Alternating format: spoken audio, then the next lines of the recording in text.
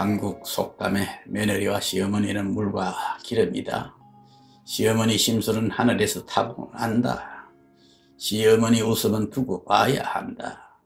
새 사람 들어와서 4년 나기 어렵다. 오래 살면 시어머니 죽는 날도 있다. 며느리 미우면 발뒤축이 달걀 같다고 나무란다. 며느리 덕과 고양이 덕은 알지 못한다. 이런 속담들은 시어머니와 며느리 사이의 갈등을 잘 보여줍니다.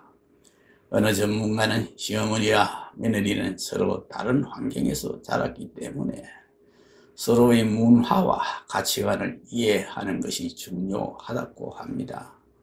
며느리는 시어머니의 방식을 이해하지 못하고 시어머니는 며느리 방식을 이해하지 못합니다. 이로 인해서 갈등이 생기게 되지요. 며느리와 시어머니의 갈등을 해결하기 위해서는 서로의 문화와 가치관을 이해하려고 노력해야 합니다. 또한 서로의 의견을 존중하고 이해하려고 노력해야겠지요. 그래야만 갈등을 해결하고 좋은 관계를 유지할 수 있다고 전문가는 조언하기도 합니다. 오늘은 베푼 만큼 돌아온다는 인생사를 묵상하는 데 도움이 되는 감동 실화로 어느 며느리의 수기를 소개합니다. 신랑이 너뚱이라 저와 나이 차가 50년 넘게 나는 어머님. 저 시집오고 5년 만에 치매에 걸리셔서 저 혼자 4년간 똥 오줌 받아내고 잘 씻지도 못하고 딸내미 얼굴도 못 보고 매일 환자씩 먹고 간이 침대에 쪼그려 잠들고 4년간 남편 품에 단 한 번도 잠들지 못했고 힘이 없으셔서 변을 못 누실 때 제 손가락으로 파내는 일도 거의 매일이었지만 힘 안 든다고 평생 이지태도 좋으니 사람만 계시라고 할 수 있었던 이유는 정신이 멀쩡하셨던 그 5년간 베풀어 주신 사랑 덕분이었습니다. 제 나이 33살 먹도록 그렇게 선하고 지혜롭고 의진 일을 본 적이 없습니다. 알코올 중독으로 정신치료를 받고 계시는 아버지, 그런 아버지를 견디다 못해 제가 10살 때 집 나가서 소식 없는 엄마, 상서업절도로 경찰서 들락 날락하는 오빠, 그 밑에서 매일 맞고 울며 자란 저를 무슨 공주님인 줄 착각하는 신랑과. 신랑에게 모든 이야기를 듣고는 눈물을 걸성이며 한시라도 빨리 데려오고 싶다고 2천만 원짜리 통장을 내어주시며 어디 나라에서는 남의 집 귀한 딸 데리고 올 때 소 팔고 집 팔아 지참금 주고 데려온다는데 부족하지만 받으라고 그 돈으로 하고 싶은 혼수 사고 싶은 거 사서 시집오라 하셨던 어머님 부모 정 모르고 자란 데는 그런 어머니께 반해 신랑이 독립에 살고 있던 아파트 일부러 처분하고 어머니 댁 들어가서 셋이서 살게 되었습니다. 신랑 10살도 되기 전에 가부되어 자식 다섯을 키우시면서도 평생을 자식들에게 조차 은성 한 번 높이신 적이 없다는 어머님. 50 넘은 아주버님께서 평생 어머니 화내시는 걸 본 적이 없다 하시네요. 바쁜 명절날 돕지 못할 망정 튀김 위에 설탕병을 깨뜨려 튀김도 다 망치고 병도 깬 저에게 1초도 망설임 없이 아무 소리 말고 이끄라 하시고는 늙으면 죽어야 한다며 당신이 손에 힘이 없어 놓쳤다고 하시던 어머님. 단 것은 몸에 안 좋다고 초콜릿 쩍쩍 먹고 있는 제 등짝을 때리시면서도 나갔다 들어오실 땐 군것질 그리 꼭 사들고 공주야 엄마 왔다 하시던 어머님 어머님과 신랑과 저 셋이 삼겹살에 소주 마시다 셋다 술이 과했는지 안 하던 속마음 얘기하다가 자라온 서러움이 너무 많았던 저는 시어머니 앞에서 끄이끄이 울며 술주정을 했는데 그런 황당한 며느리를 혼내긴 큰녀는 제 손을 잡으며 저보다 더 서럽게 우시며 얼마나 서러웠노 얼마나 무서웠노 처음부터 너가 내 딸로 태어났으면 오죽 좋았겠나 내가 더 잘해줄 테니 이제 잊어라. 잊어라 하시던 어머님 명절이나 손님 맞을 땐 상 차린 거 치우려면 아직 다 안 먹었다 방에 가 있거라 하시고 소리 안 나게 살금살금 그릇 치우고 설거지 하시려다 저희께 들켜 서로 네가 왜 하니 어머님 이해하세요. 신랑이 하게 되셨죠. 제가 무슨 그리 귀한 몸이라고 일식이 그거죠. 아까우셔서 벌벌 떠시던 어머님. 치매에 걸린 본인 이름도 나이도 모르시면서도 험한 말씨 한번 안 쓰시고 그저 곱고 귀여운 어린아이가 되신 어머님. 어느 날 저에게 아이고 이쁘네 니 집딸이고 하시더이다. 그래서 저 웃으면서 나는 정 아무개 여사님 딸이지요. 할머니는 딸 있어요 했더니 있지 서 아무개 우리 막내딸. 이러 아들 둘이랑 딸 서희도 있다. 그때서야 펑펑 울며 깨달았습니다. 이분 마음속에 제가 딸 같은 며느리가 아니라 막내 신우 다음으로 또 하나 난 딸이었다는 걸 저에게 네가 내 제일 아픈 손가락이다 하시던 말씀이 진짜였다는 걸 정신 있었을 때 어머니께 저는 항상 감사하고 사랑하고 잘 하려 노력은 했지만 제가 정말 이분을 진짜 엄마로 여기고 대했는지 왜 더 잘하지 못했는지 왜 사랑하고 고맙단 말을 매일매일 해드리지 못했는지. 형편 어렵고 애가 셋이라 병원에 얼굴도 안 비치던 형님 형님이 돌보신다 해도 사양하고 제가 했어야 당연한 일인데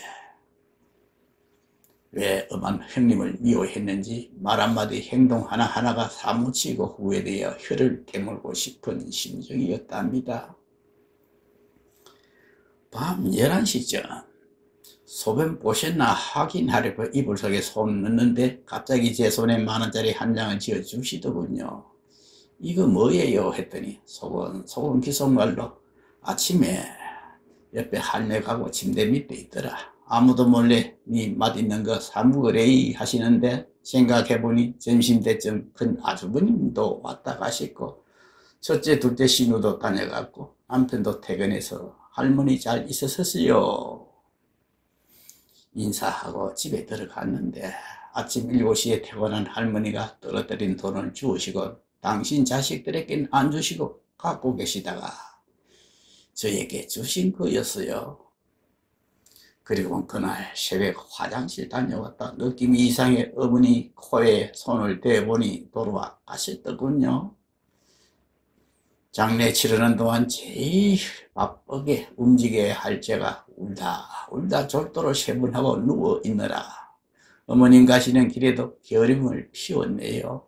어머님을 닮아 시집사례가 뭔지 구경도 안 시킨 시 아주버님과 시누이셋 그리고 남편과 저 서로 부둥켜 안고 서로 위로하며 어머님 안 슬퍼하시게 우리 우애 좋게 잘 살자 약속하며 그렇게 어머님 보내드렸어요.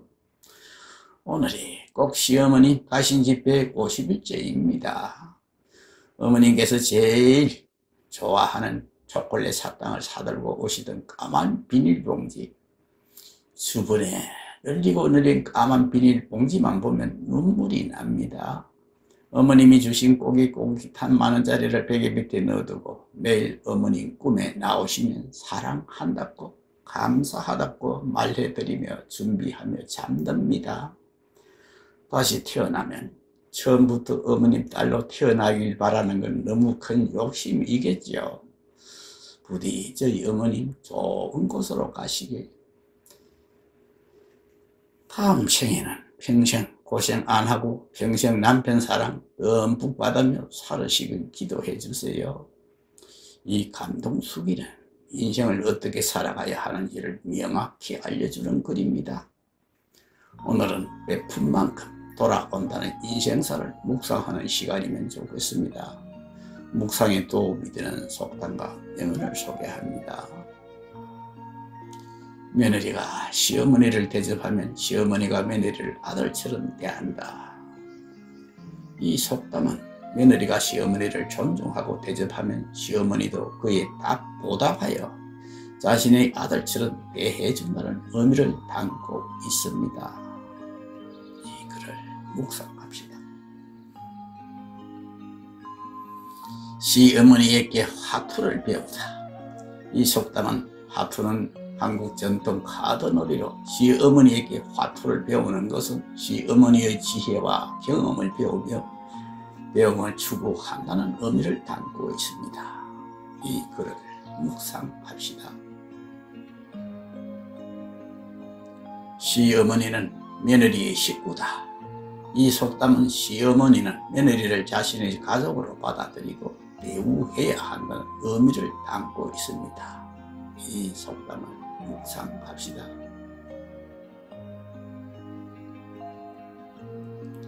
시어머니 없는 단골집은 없다. 이 속담은 시어머니의 존재가 가정에서 중요하고 필수적인 역할을 한다는 의미를 담고 있습니다. 이 속담을 묵상합시다. 시어머니와 며느리는 서로의 마음을 이해하고 존중함으로써 가장 아름다운 관계를 형성할 수 있다. 알렉스 라프의 명언을 묵상합시다. 시어머니와 며느리는 함께 걷는 길 위에서 상호 배움과 성장의 기회를 주고받는다. 토마스 캠프의 명언을 묵상합시다.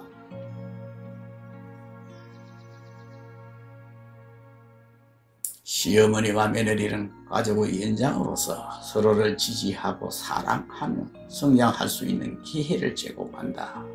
알리스타 알트르의 명언을 묵상합시다.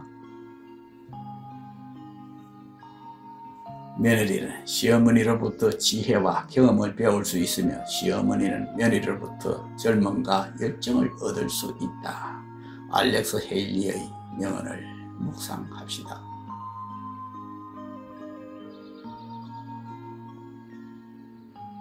시어머니와 며느리는 서로를 돌보고 배려함으로써 가정의 옹기와 행복을 공유할 수 있다. 사무엘 테일러 콜리즈의 명언을 묵상합시다.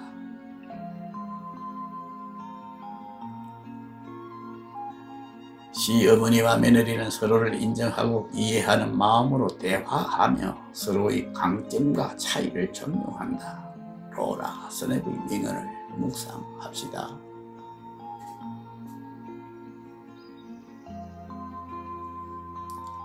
며느리는 가정의 터전을 지키고 가족의 유대감을 광화하는 중요한 역할을 한다. 시어머니는 며느리에게 지혜와 사랑을 전한다. 제니퍼 루이스의 명언을 묵상합시다.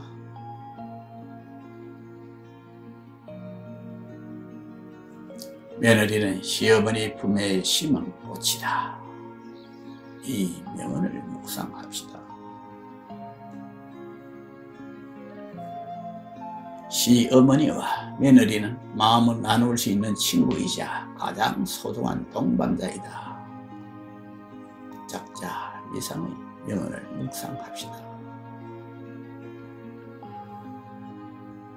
시어머니와 며느리의 사랑은 세대를 넘어 이어지는 인연이다. 이 명언을 묵상합시다.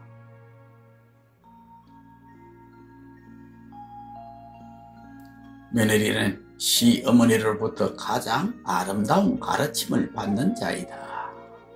이 명언을 묵상합시다. 시어머니와 며느리는 서로를 지지하고 믿어주며 가족을 위해 협력할 수 있는 동료이다. 이 명언을 묵상합시다. 며느리는 시어머니의 상징이자 그들이 이어가는 가장 소중한 유산이다. 이 명언을 묵상합시다.